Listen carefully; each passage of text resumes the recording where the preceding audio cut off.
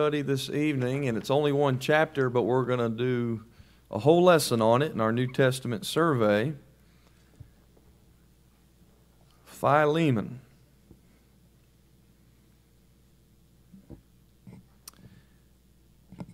It's right after Titus, right before Hebrews. It's the last in order of Paul's epistles, and it's the shortest of Paul's epistles.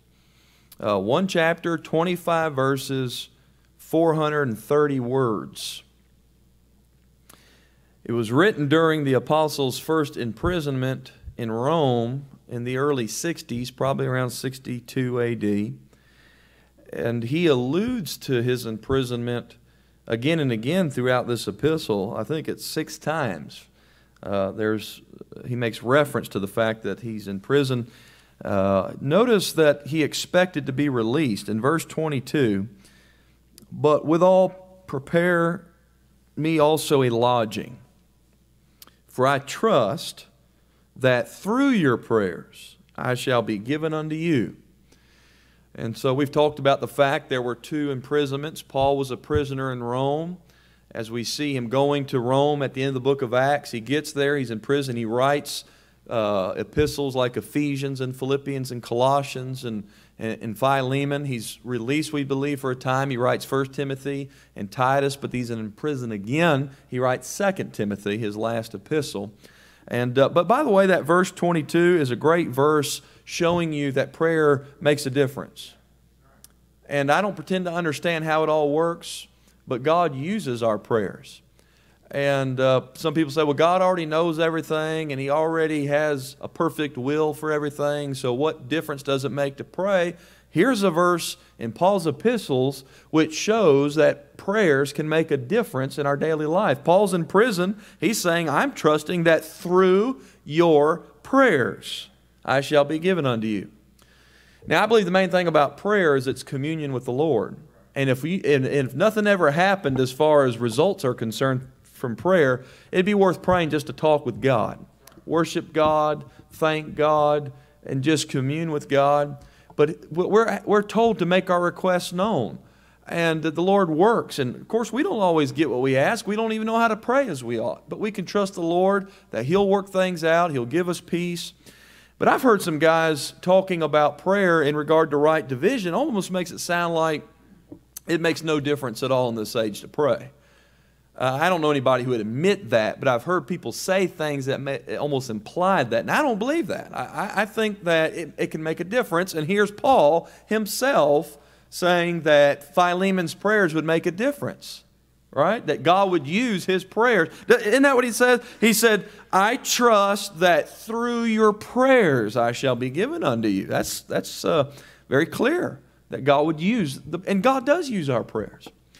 And um, we just pray the best we know how, trusting the Lord, and the Holy Ghost makes intercession, and the Son of God makes intercession, and um, He'll work all things out according to His will.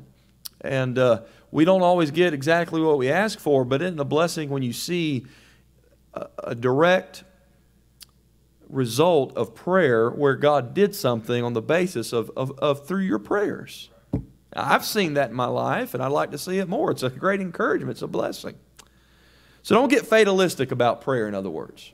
Don't say, well, God's, all, God, God's already got everything, you know, under control and he knows all things. What will be, will be, and so on. And well, God knows all things, but He does give man a will, and, uh, and we make choices. And I don't personally believe, and I know how I got off into this already. I'm not even, I've departed from my notes within a minute of the lesson.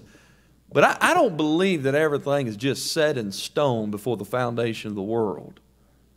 God already knows, but He does give us the freedom to choose, and there, there, there are scenarios that you can't well i, I don't want to get into all that. I'm going to i got to get back to the lesson we're never going to get through this. But just just just know that god can use our prayers okay? And so i actually read the verse just to show you that uh, paul was expecting to be released and he was by the way wasn't he we believe he was released and then but he was imprisoned again later so philemon is probably the most neglected and overlooked epistle. And that's one of the reasons why I want to give a whole lesson to it tonight. Now, I've taught through it verse by verse before, and I don't feel like I've neglected it in my personal ministry, but you know as well as I do, you don't hear many messages out of Philemon. A lot of people probably don't even know there's a book in the Bible called Philemon.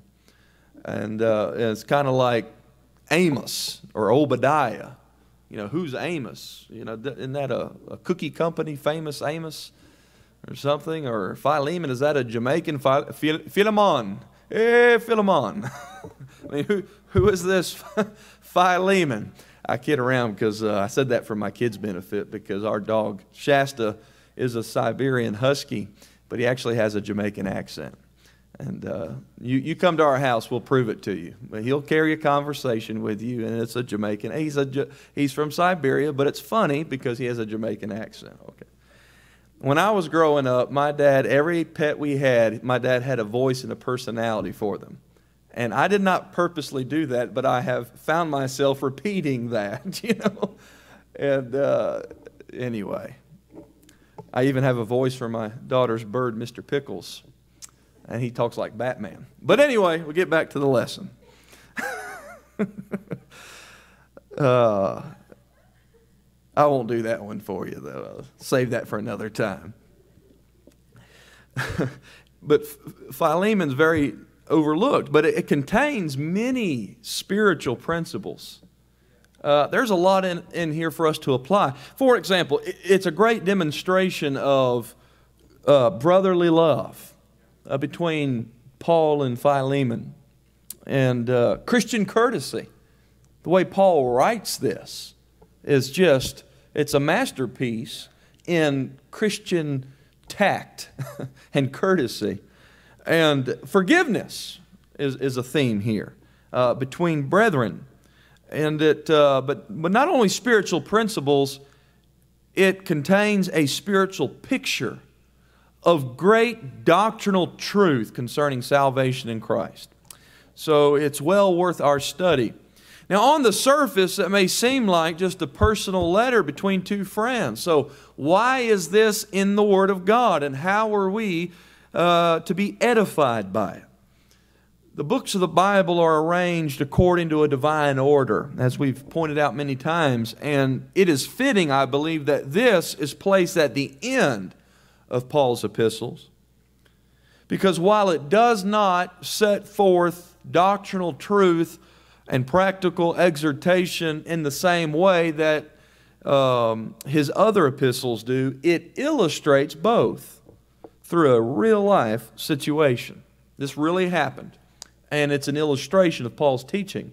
And Paul, by the grace of God, was a great example of the doctrines that he taught and stood for. Uh, Charles Baker wrote this. He said, This brief epistle is strictly personal in nature, containing nothing of a doctrinal or dispensational nature. Uh, Paul's attitude, however, in relation uh, to the runaway slave Onesimus, does represent and reflect in a remarkable way the grace message which Paul preached. So it's, it's kind of like an illustration at the end of his epistles. Now, Paul referred to Philemon as his dearly beloved and his fellow laborer. But all we know about Philemon is derived from this epistle. Uh, he was a believer, saved through Paul's ministry. If you look in verse 19, he said, I, Paul, have written it with mine own hand. I will repay it, albeit I do not say to thee how thou owest unto me even thine own self besides. And the implication is the Lord had used Paul in a great way in Philemon's life, no doubt leading him to Christ and teaching him uh, the truth. And uh, he lived in Colossae. We can, we can glean that by comparing Philemon with Colossians 4. And if you were to look at especially verses 7 through 17 in Colossians 4 and compare it with some things in Philemon, it would be very clear to you that Philemon uh, was in Colossae. And we can also glean that he was evidently a wealthy man. He was one who owned servants, and uh, that he had a house large enough for the church to meet in. And the, the implications were he was a man of means. Um, but the point of the letter is that one of his servants, Onesimus, had run away, and perhaps he had stolen from him. I gleaned that from verse 18. It says, If he hath wronged thee, or oweth thee aught, put that on mine account. He probably did owe Philemon because he, when he ran away to be able to make his trip, he probably stole from him. And, uh, but he ended up in Rome. And while in Rome, he meets the Apostle Paul. And how that happened, we don't know. No details are given as to how he met Paul in prison at Rome. Maybe Philemon himself wound up in prison or working in the prison. We don't know. But Paul leads him to the Lord. In verse 10, Paul said, I beseech thee for my son. And again, like we saw with Timothy and Titus, this is his son in a spiritual sense, my son Onesimus, whom I've begotten in my bond. So, Paul, as a prisoner, by the way, Paul's a prisoner, what sitting there bitter and defeated, he was still serving the Lord, leading people to Christ. In fact, he had there were many saints in Caesar's own household as a result of Paul's testimony. You, you pick that up at the end of Philippians but he had led uh, Onesimus to the Lord. Now, Roman law permitted a master to execute a rebellious servant. But Philemon was a godly man, and Paul was confident that he would forgive Onesimus and that he would welcome him back, uh, not only as a servant, but more than that, as now a brother in Christ. And so, Paul, in this letter, is a mediator between his new convert and his old friend. That's what this letter is about. He's a mediator between his new convert and his old friend. Now, he does not command Philemon as an apostle. He doesn't say, Philemon, I'm the apostle Paul, do as I say, or I will deliver thee unto Satan for the destruction of the flesh. You know, he, he doesn't uh, use his authority. What he does, he writes as Paul the aged. And he writes as a Christian gentleman, and he writes as a friend of Philemon, and he beseeches him. He pleads with him. And he writes with a lot of feeling. By the way, there's nothing wrong with feelings. Uh, you know, I, sometimes we get the wrong idea. We think feelings don't have a part in a Christian walk because we condemn the feeling driven type of Christianity that's so prevalent. We ought to be faith driven. We walk by faith, not by feelings. But feelings, if they're in subjection to faith, feelings when they're in their right place, are, are important. We ought to have a, a, a desire uh, for the Lord and and to serve others. We ought to have feelings. We ought to have Christian uh, charity, which is charity is not a feeling, it's an action, but I think there, there ought to be some, uh, well, he uses the word bowels three times in Philemon. Now, that's not, you know, when we hear that word today, uh, it's not commonly used today the way Paul was using it, but the way Paul was using it, it's like the heart uh, something deep. Uh, it would, and, and the reason why I associate it with the heart is because the Bible does. Look, hold a marker in Philemon. Go all the way back to Jeremiah chapter 4. Jeremiah chapter 4.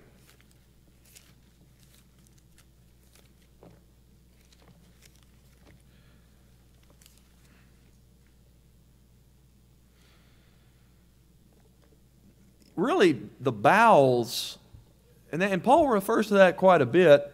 It's like compassionate feelings, something deep within. And in Jeremiah chapter number 4, verse number 19, the weeping prophet said, My bowels, my bowels, I am pained at my very what? Heart. My heart maketh the noise in me. He's talking about his heart. He said, My bowels. Look in 2 Corinthians chapter 6. As we often tell you, study words in the Bible itself, the King James Bible, and you'll understand the words. 2 Corinthians chapter 6. Verse 11. O ye Corinthians, our mouth is open unto you our heart is enlarged. Ye are not straitened in us, but ye are straitened in your own bowels. So he's contrasting his enlarged heart with their straightened or narrowed down uh, bowels. And, and so you see that they're related there. It's, it's compassionate feelings from the heart, is basically what that's referring to. So this is a letter of deep feeling. He refers to uh, the bowels in verse 7, in verse 12, in verse 20. Now,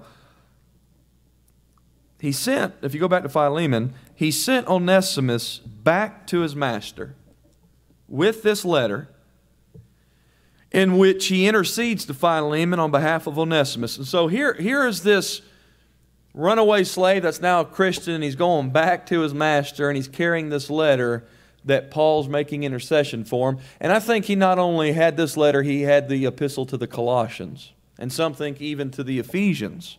I know for sure Colossians, because in Colossians chapter 4, he said in verse uh, 7 through 9, all my state shall Tychicus declare unto you, who is a beloved brother and a faithful minister and fellow servant in the Lord, whom I've sent unto you for the same purpose, that he might know your, est- your estate and comfort your hearts. With Onesimus, a faithful and beloved brother, who is one of you. So he's from Colossae. Well, if he's from Colossae, that means Philemon was from Colossae, right? They shall make known unto you all things which are done here. So Paul sends Onesimus back to Colossae with this letter and also Tychicus. And so that's just kind of what this letter is about. And to, to give you a simple outline, I, I provide in your handout a couple outlines. Um, the first outline I give you is this in verses 1 through 3, we have the greeting. And then verses 4 through 7, we have Philemon's character. And then verses 8 through 21, which is really the heart of the epistle, is the intercession for Onesimus. And then the conclusion, verses 22 through 25. Another outline is this appreciation for Philemon. He said in verse 4, I thank my God. And he's thanking God for Philemon. And then you have appeal for Onesimus. Look in verse 10. I beseech thee for my son Onesimus. And then you have assurance by Paul Look at verse 19. I, Paul, have written it with mine own hand. I will repay it. So, simple outline. I tell you what, let's do. Let's read through these 25 verses, then we'll come back and say some more things about it. Paul, a prisoner of Jesus Christ, and Timothy, our brother, unto Philemon, our dearly beloved, and fellow laborer, and to our beloved Apphia. and, and, that's probably his wife he's referring to. It's a female name. It's most likely his wife, and Archippus, our fellow soldier, that's probably his son, and to the church and thy house. So he's writing to Philemon personally, and he, and, he's, and he sends greetings to his family and to the church that's meeting in his house. Grace to you and peace from God our Father and the Lord Jesus Christ. I thank my God making mention of thee always in my prayers, hearing of thy love and faith.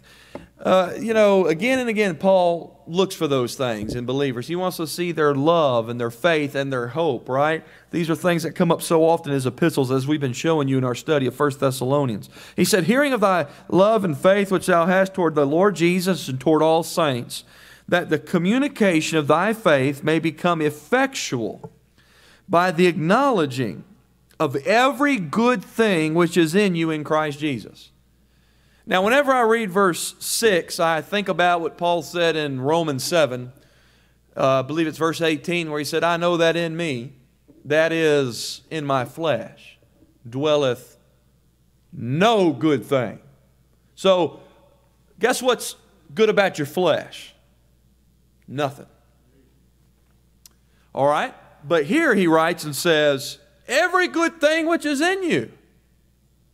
But see, the key is he said, in Christ Jesus. See, in my flesh, nothing good, but Christ lives in me. And obviously, he is good. And so I can live a good life. I can be a good person in the Lord. Right? People talking about, well, so and so is a good person. Not unless they're saved. The Bible said there's none that doeth good, no, not one. I'm just telling you what the Bible says. See, we think people are good by our standard, but our standard is not very good. God's standard is, the, is what we need to go by. Verse 7 For we have great joy and consolation in thy love, because the bowels of the saints are refreshed by thee, brother. And that's, that's a theme we, we see in Paul's epistles this idea of refreshment. Uh, we don't want to be the type of people that when, when we're around people that think, oh boy, you know, it's like a drudgery. It's like, oh, here they come, and what are they? Oh, I hate when they come up and tell me all this stuff they're going to, you know. It's like, oh, here we go. We don't. We, we want to be the type of people. People are like, oh, I can't wait to talk to so and so. They're always such a refreshment. Are you a refreshment or a grief? May God help us to be a refreshment to people, right? He said, Wherefore, though I might be much, uh, be much bold in Christ to enjoin thee, in other words, to command thee, that which is in, uh, convenient. In other words, this would be what I'm asking you to do is convenient. In other words, proper, fitting, suitable. He said, Yet for love's sake I rather beseech thee. And um, it's better for people to willingly choose to do right out of love than to be forced to do right out of necessity. He said, I'd rather beseech thee for love's sake. Um, Yet for love's sake, I'd rather beseech thee, being such a one as Paul the aged, and now also a prisoner of Jesus Christ. I beseech thee for my son Onesimus, whom I have begotten in my bonds, which in time past was to thee unprofitable but now profitable to thee and to me. If you can't see a spiritual picture in that, you're blind. I mean, good night. We'll talk more about this in a moment, but talking about unprofitable, that's exactly what we were. But now in Christ, we can serve God profitably. He said, Whom I've sinned again, thou therefore receive him. That is mine own bowels. In other words, receive is one that's very dear to my own heart, whom I would have retained with me that in thy stead he might have ministered unto me in the bonds of the gospel. But without thy mind would I do nothing, that thy benefit should not be as it were of necessity, but willingly. For perhaps he therefore departed for a season, that thou shouldest receive him forever. That's another one of those statements. We were a lost sinner for a season, but we're a child of God forever. He said, Not now as a servant, but above a servant, a brother beloved, specially to me, but how much more unto thee, both in the flesh and in the Lord. He said, If thou count me therefore a partner, receive him as myself. What a statement when you think about it in relation to salvation. That's what Christ says to the Father on our behalf. Receive him as, as me. If he hath owed thee or Uh, if he hath wronged thee or oweth thee aught, put that on mine account. Again, that's what Christ said. I, Paul, have written it with mine own hand, I will repay it. Albeit I do not say to thee how thou owest unto me thine own self besides. Yea, brother, let me have joy of thee in the Lord. Refresh my bowels in the Lord. Isn't it a joyful thing to see people doing the right thing? From the heart out of love. In this day and age, that's real refreshing because it's not real common. Having confidence in thy obedience, I wrote unto thee. Knowing, now this is a great statement, that thou wilt also do more than I say. Now that's refreshing. When you find a person who goes the extra mile, so to speak, are you the type of person that just gets by doing what's expected, or do you go above and beyond? The people who go above and beyond are real refreshing. I know some, I believe we have folks like that here in our church. What a blessing that is. May God help us all to be that way. That uh, we're, we're not just going to do what's expected. We, we want to do more than that. We want to we want to abound in our Christian service to take initiative and to follow through. I mean, if you find somebody could take initiative to do something, follow through in doing it, and then go above and beyond in doing it, now that's refreshing. Right? Because that's not common, is it, unfortunately? He said, But withal prepare me also a lodging, for I trust that through your prayers I shall be given unto you. there salute thee. So when you compare what he's about to say with Colossians 4, he mentions the same people. So you know there, that Philemon's in Colossae because he's saying there salute thee. Epaphras, my fellow prisoner in Christ Jesus, Marcus, Aristarchus, Demas, Lucas, my fellow laborers. The grace of our Lord Jesus Christ be with your spirit. Amen. Now, let me just say some more about this. It's just a blessing to read. It's a great letter. There's a lot in it for us. But you know, the scripture does not say that Philemon was a preacher. Now, there's some debate about this. Some people think he was the pastor at, at uh, Colossae. Uh, I personally don't think that. Um, the Bible doesn't say he was a pastor, or it doesn't say he was a preacher, an evangelist, or whatever, but he was what all believers should be, and that's a fellow laborer in the work of the ministry. You see in verse 17, he said, If thou count me therefore a partner. That's what a fellow laborer is a partner in a common labor.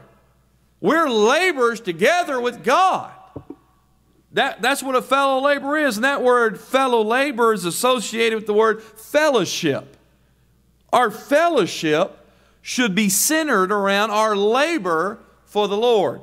Paul talked about in Philippians 1, our, he said, your fellowship in the gospel. He said the same thing in 1 Thessalonians 3. He talked about Timothy as far as being uh, his fellowship in, in, in, in, the, in the work of the gospel. Notice also the terms fellow soldier. In verse 2, he refers to Archippus, a fellow soldier, and then fellow prisoner. In verse number 23, Epaphras, a fellow prisoner. And Paul liked those fellow words. He, he used a lot of those in his epistles. And uh, this idea of a partnership. Now, ministry involves much more than preaching behind a pulpit. You can be in the ministry without getting up and preaching a sermon. I, believe we need businessmen in the local church who, like Philemon, will be fellow laborers in the ministry. Uh, we can't all stand behind the pulpit and preach the message. It, it takes people out there in the world working and they have the ability to help provide for the cause of Christ and provide for the local church. And of course, they're a witness on their job and, and their influence. And, and look, away with this nonsense that unless you're a preacher, you're not in the ministry. And that, that, people have this mindset that if you don't go to Bible college, which I don't recommend, by the way, it'll mess you up more than likely. But if you don't go to Bible college and then you don't get on a church staff, you know, People say, Do you have staph? I said, No, I don't have staph infection. but, you know, and I, what I mean by that is the, is the, uh, the welfare program that some churches have, where they get a lot of guys drawing a paycheck, don't do nothing, you know, and they don't know how to work at all. They just kind of, uh, well, anyway. I think that if you need, if and look, uh, uh, the right kind of local church is going to have so much involvement from its members, you're not going to need a big staff. I think the local church ought to the people working together ought to get the job done, right? Uh, but if, they're, if, eh, if the size of the church and the ministry demands another full time person in that work, great. But a lot of that, it's just like a status symbol where a pastor walks out on the platform and has all his duds sitting there in the chairs behind him. Boy, he looks like he's, you know, really a powerful man. He's got all these people working for him and all that nonsense, you know. You ever seen that? Some of these churches, they literally, when the service starts, the pastor comes out the door and all his robots follow in right behind him.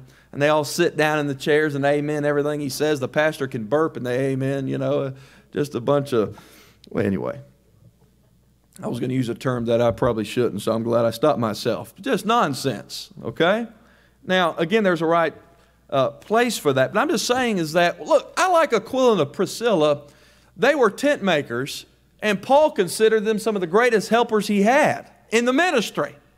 And look, a woman too. Uh, the, the wife didn't just stay out of the work. There's a place for women in the ministry. And I don't see how people can read Paul's epistles and think women don't have a place in the ministry. Just because they're not in leadership in a church, and just because they're not preaching, they still have a mighty important role to fill.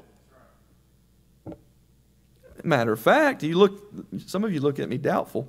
All right? Some people, you're not. I'm just going to prove it anyway. But Philippians 4, uh, people think Paul was against women. No. He wrote by inspiration of God, and he wrote what God said about things concerning the proper order.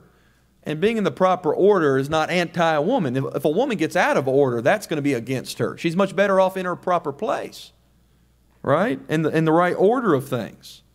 I don't know why a woman would want to come off the pedestal God put her on and try to act like a man. I mean, why, why would you want that?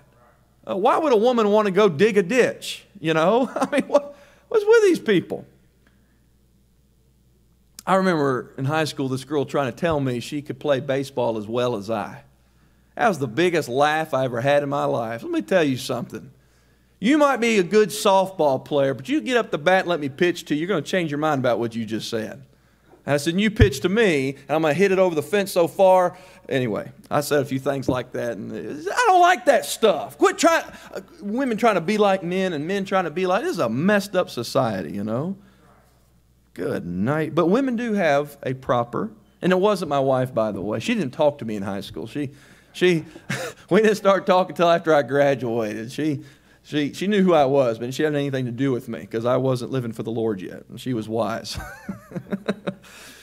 Philippians chapter 4, he said in verse number uh, 3, I, I entreat thee also, true yoke fellow, help, the, there's one of those fellow words there.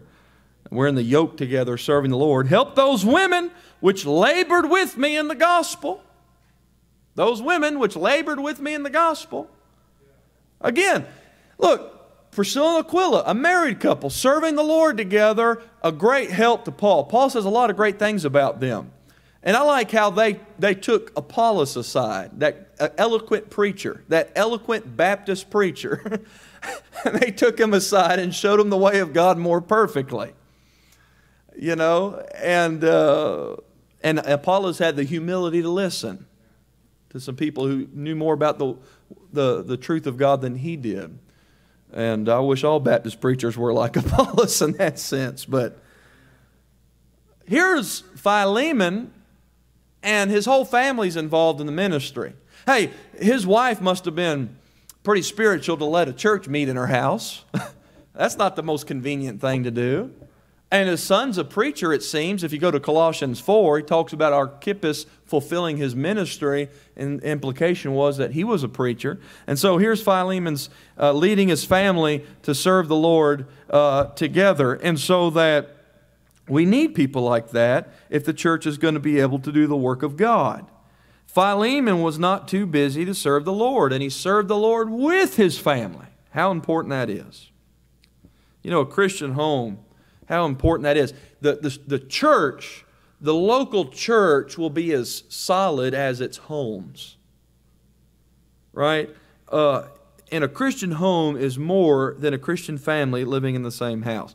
It is a Christian family living out their faith on a daily basis and serving the Lord together. You know, praying together, reading the Bible together, going to church together, and doing things in the ministry together.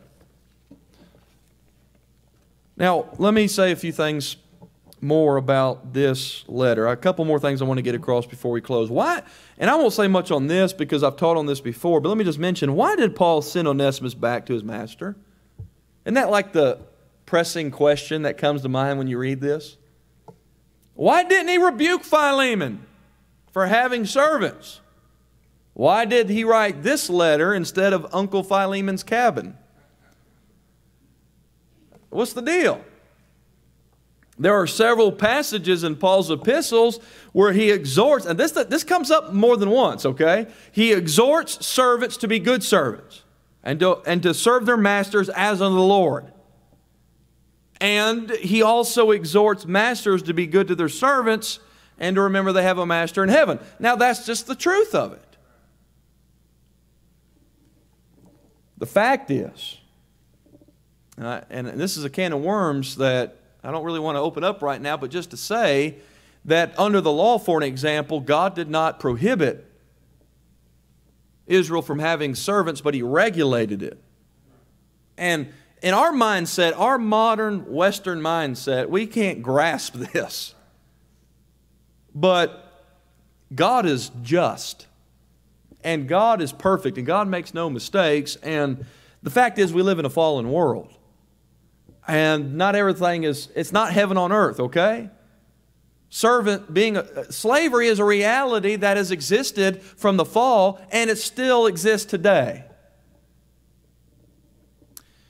And all these people in America that want to bring up something that happened several hundred years ago in our country, I don't know why they don't put their passion toward helping actual slaves in the world today. You know, this whole concept of reparations. What a, what a blasphemy. You're going to tell me I need to pay you something because my great great great grandpappy enslaved yours? I didn't have nothing to do with it, and you didn't have nothing to do with it. Time to move on, right? Hey, man, my folks came from Ireland, man. We were mistreated. And some of my folks came from Poland. We're still mistreated. I mean, I could get a chip on my shoulder about stuff like that, you know?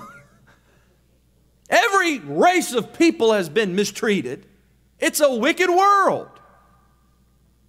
Right? And um, so just, I'm not trying to be insensitive, okay? But I, I'm just trying to be honest about this thing as far as how it's dealt with in the Word of God. You know, all believers are spiritually one in Christ and enjoy spiritual liberty in Him, right? We're all one. There's neither Jew nor Greek. There's neither male nor female. There's neither bond nor free. We're all one spiritually. However, on this earth, there are still social, physical, earthly distinctions. A saved woman has the same spiritual standing before God as her saved husband. But in this life, she needs to submit to his leadership. I mean, look, when Paul writes Ephesians, he's talking about the one body and, the, and that glorious standing we all have as members of one body. And then in the same epistle, he says, Wives, submit to your husband, children, obey your parents, uh, servants, obey your masters. Right? So, standing in state. Standing in state. So a saved servant has the same spiritual standing before God as a saved master, but in this life he must still obey his master's authority. See, Paul, the point is, Paul did not preach a social gospel. Like, you know, he wasn't like Al Sharpton or anything like that. That's for sure. And slavery has existed in this world since the fall. Like I said a moment ago, it's a reality the church has not been called to make the world a better place to go to hell from. Okay? If you put all your efforts into ending slavery and, and slaves die and go to hell, did you really help them that much? I mean, comparatively speaking to eternity? See, we're called to get sinners saved out of this present evil world. And if Paul would have told servants to run away it would have been against the law, it would have endangered the servants, and worst of all, it would have hindered the gospel. What a powerful testimony for a Christian servant to be the best servant he could for his master. What a testimony that would be to an unsaved master. And what a testimony to be for a saved master like Philemon to treat his servants so good that they would want to stay serve him. Right? So when it came to things like this for Paul, it was all about personal responsibility, not personal rights. See, that's what it is in our culture rights. Rights. I have rights. No, Christians have the responsibility to follow God, to put others before ourselves, and put the furtherance of the gospel before ourselves. Paul was willing to lay down his life for the furtherance of the gospel. Now, I'm not going to take the time to do it, but you can go to 1 Corinthians 7, about verses 20 through 24, and also 1 Timothy 6, verses 1 through 5, and see the, this uh, tone that Paul takes, saying that servants ought to be content in that lot in life, and uh, they are free in the Lord, and uh, that they ought to just submit to that. And, and, and so there's a lot you can get into there, but it's just something that's very, look, different from our modern culture. But we don't change the Bible to match our culture. We don't sit in judgment on the Word of God because we've been ingrained with a different mindset in our modern culture. Now, let me point this out to you. By sending Onesimus back to his master, Paul was disobeying the law, and he knew it. Don't you think Paul knew the law? With his background, he knew the law very well. You know what it says in Deuteronomy 23? You probably don't, so let me read it to you. I don't know what it says until I turn and look at it here. Deuteronomy 23, verse number 15. Thou shalt not deliver unto his master the servant which is escaped from his master unto thee. Isn't that what Paul does in this letter? You know what that means? We're not under the law, but under grace. Philemon is about grace, not about law. You see that? All right. The Word of God not only plainly states the truth, it also illustrates it through types and pictures. And this little epistle provides us with a beautiful picture of salvation by grace. Think about what we just read. As we read through it and we've talked about what's in it, listen Onesimus represents lost sinners, Philemon represents God the Father, and Paul represents God the Son. Now, there are three great doctrinal truths concerning salvation by grace that are revealed and explained in Paul's epistles that are illustrated by this real life situation that took place between Paul, Onesimus, and Philemon. Number one, mediation. Look at verse 10. I beseech thee for my son Onesimus, whom I begotten in my bonds. He is being a mediator. The truth that Christ is the mediator between God and man. 1 Timothy 2 5. There's one mediator between God and men, the man, Christ Jesus. He's the go between. We couldn't get to the Father but through the Son. He takes the Father by one hand and he takes the sinner and he makes reconciliation. He's the go between, he's the mediator and the only mediator between God and men. Imputation, not amputation. Imputation. Verse 18 If he hath wronged thee or oweth thee aught, put that on mine account. To impute something is to put it on the account of. Well, the truth that Christ took our sin and gives believers his righteousness, that's, that's a wonderful doctrine in 2 Corinthians 5, for an example. It talks about reconciliation. It says that God reconciled the world unto himself, not imputing their trespasses unto them. And that um, in verse 21 it says, For he hath made him, God the Father hath made God the Son, to be sin for us, uh, that we might be made the righteousness of God in him. So our sin was imputed to Christ on the cross. He paid for our sins. When we trust him, his righteousness is imputed to us. Wonderful doctrine. It's right here in Philemon illustrated. And then identification. Verse 17 If thou count me therefore a partner, receive him as myself. Well, that's the truth that God now receives the believer as he does Christ. If you can't get a blessing out of that, you, you just you're dead. You haven't fallen down yet. I mean, that is that is any Christian that thinks on that ought to just rejoice Look, I can't come to God in my flesh, and my flesh dwells no good thing. But again, he said, Philemon, there are many good things in you in Christ. Why? He's accepted us in the beloved. Paul said in Ephesians 1 6 that we're accepted in the beloved. The beloved is the Lord Jesus Christ. God the Father, look, I get a kick out of this, man. God the Father said concerning the Lord Jesus in his earthly ministry, several times he said, This is my beloved Son in whom I am well pleased. He couldn't look at me and say, I'm well pleased. He'd look at me and say, I ought to put you in hell. But I trusted Christ. And now he looks at me and says, I'm well pleased because of Jesus Christ. Boy, what a blessing that is. Identification. And that's why it's so imperative that we emphasize one spiritual baptism because that's how we are identified with Christ. You, you mark it down, the churches that emphasize water over spiritual baptism, you mark it down. Those people sitting in that church aren't grounded in this truth.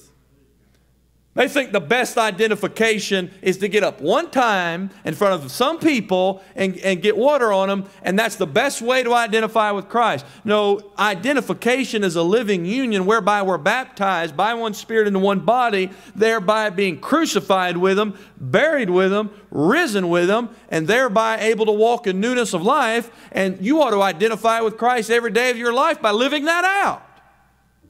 That is what matters. And so we have this identification. God receives us as he does Christ. You see that? The spiritual baptism is what God does, and we're complete in him. Why would you want to exalt a work that man does? Right? Think about it. Very, very important we understand this.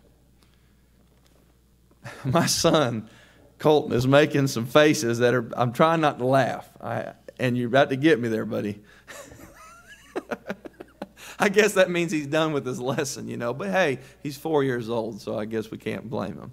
But he, if you would have saw the faces he was just making, I was trying my best not to, to look over there. I, I did I embarrass you, Colton? He's not looking at me. Well, see, you shouldn't have been making those faces. He gets it from me, though I can't be too hard. I used to do the same thing in school. we finish with this. the name Onesimus means profitable. Isn't that kind of interesting? Because he said in verse number 11, which in time past was to thee unprofitable. But now, isn't that language kind of familiar? I mean, you remind you of something in Paul's epistles? Time past, but now. We think of it dispensationally, but even practically in our life. In time past, I was unprofitable to God. But now that I'm saved, I can, I can live a life that's profitable. And that's something. I'm not wasting my life. And if, and if you don't know the Lord and you're not serving the Lord, you are wasting your life. Be as steadfast, unmovable, always abounding in the work of the Lord, for as much as you know that your labor is not in vain in the Lord. He said he wasn't profitable, but now profitable. In time past, he had been an unprofitable servant to Philemon, but now he was saved.